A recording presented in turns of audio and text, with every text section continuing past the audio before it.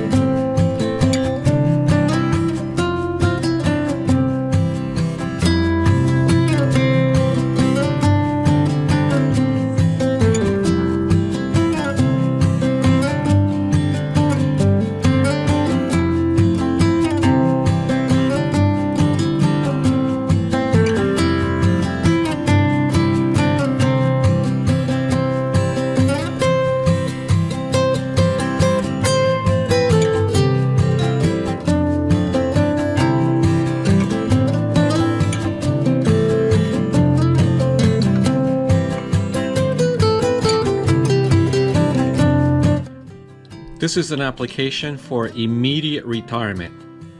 I'm gonna have to send it here to Portsmouth, Virginia because I'm retiring in a couple of months. I can't wait. I've already retired from the military side of the Navy.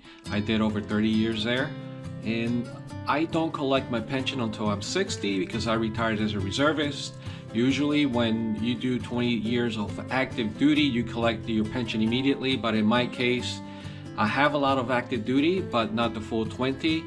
I do have most of my time has been as a reservist, but I'm gonna retire now from the, uh, the federal uh, civilian side. So yeah, I look forward to that. I've been doing IT uh, with them for quite a while. And yeah, new great things are coming ahead. I really look forward to uh, definitely lots and lots of new adventures. Exactly what, I don't know yet. I have an idea, but uh, I'm gonna keep that to myself.